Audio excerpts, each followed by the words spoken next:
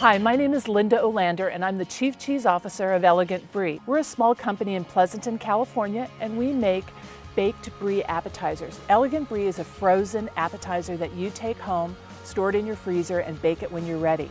We start with the creamiest of brie cheese, we put a filling in the center and we have several gourmet fillings. Then we cover it with puff pastry, decorate it with more puff pastry, and then freeze it and package it so you can take it home. We tell all of our customers to tell their friends and family that they baked it because they did.